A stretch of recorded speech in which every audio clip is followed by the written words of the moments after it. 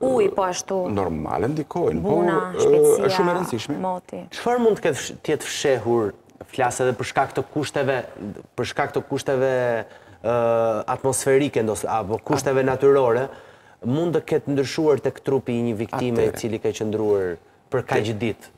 Nuk është se ka shumë ditë, te kufoma, te kufoma ka fenomenet e hershme dhe fenomenet e vonshme.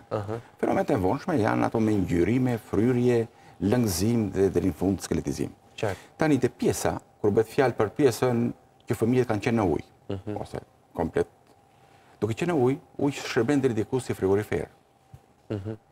i mban në një mënyrë, me thënë, në mënyrë statike, mhm. pa u dhënë mundësi, me thënë, që të zhvillohen... Pra ndihmon, jo, ndihmon... Ndihmon që dekompozimi të mos zhvillohet shpejt. Qartë, të ndodhë më ngadalë. Më ngadalë. Ndihmon mirë si në atë rast. The, në ça gjendje janë gjetur, këtë nuk mund ta di, me thënë, se në pjesa, të të kishim një foto, mund ta kisha analizuar, edhe shkallën e e turis në mhm, pjesën. Mhm, Por, Shumë e rëndësishme është pjesa, pavarësisht pjesës policore, investigative, nëpërmjet kamerave, lëvizjeve të mundshme, nëpërmjet gjithë kjo, mekanizmit se si mund të jenë hedhur dhe a ka mundësi për t'u hedhur tre fëmijë menjëherë, me thënë në një situatë kur ura është mbi një metër lartësi dhe reagimet. Ajo është një urë pa. Po.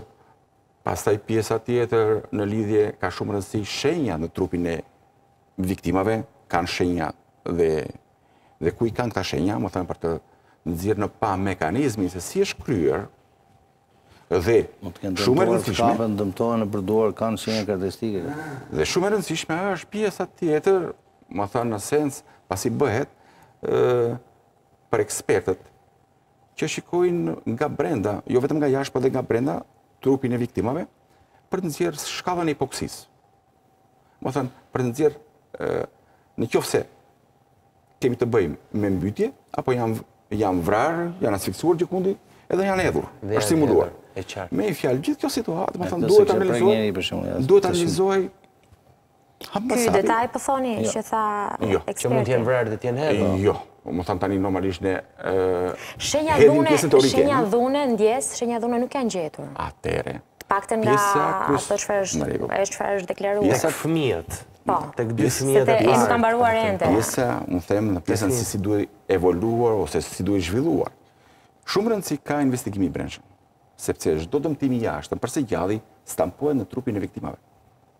dhe dhe rëndësi themelore në këta raste sidomos kam është marrja e kampioneve të brendshëm mhm. të lëndëve të ndryshme se që mund të kenë konsumuar gjaku, urina, gjëra tjera për të, për të bërë analizën spektrale toksikologjike për të nxjerrë në pah se nëse kanë konsumuar ndonjë një ilaç apo diçka që mund të kenë qenë në gjendje për të reaguar dhe ka ndodhur, investigimi do të ishte Më i thelluar, më profesional për të zbardhur të gjithë ecurinë e kësaj.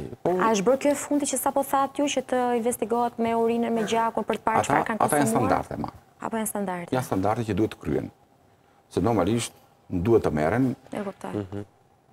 Dhe ka qenë mjeti që të mund është folur për këtë pjesën fizike, pra për dhunën fizike, për pjesën fizike, kurse kjo që thoni ju, sikur nuk është diskutuar, nuk është dëgjuar të paktën. Po, normale, është çështje profesionale dhe